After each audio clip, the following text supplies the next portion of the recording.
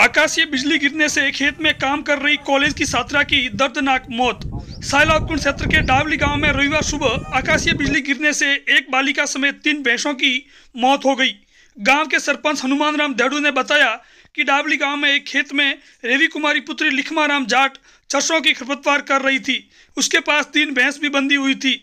बारिश का मौसम बना हुआ था। सुबह करीब नौ बजे आकाशीय बिजली भैंसों पर गिर गई। भैंसों पर गिरने के दौरान आकाशीय बिजली ने रवि कुमारी को भी सपेट में ले लिया, जिससे बालिका समेत तीनों भैंसों की मौके पर मौत हो गई। जानकारी मिलते ही ग्रामीण व पुलिस प्रशासन मौके पर पहुँचा।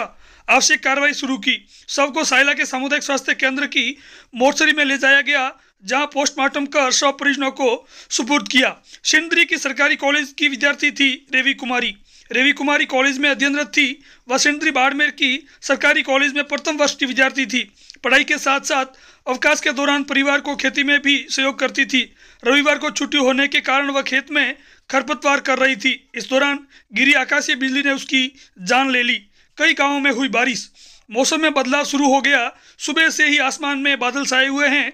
सिराना, सोसवा समेत साहेला उपखंड क्षेत्र भर में बारिश का मौसम सुबह से जारी है। ऐसे में किसानों के खेतों में जीरा, सरसों और रायडा समेत फ़सलों की बुआई की हुई है। कुछ फ़सलों को फ़ायदा मिलेगा तो अनार की फ़सल में नुकसान की आशंका बनी हुई है। लोग खेतों के काम में जुटे हुए हैं, लेकिन इस प्रकार से आकाशीय बिजली गिरने की घटनाओं से किसानों में भी खौफ का माहौल बन गया है।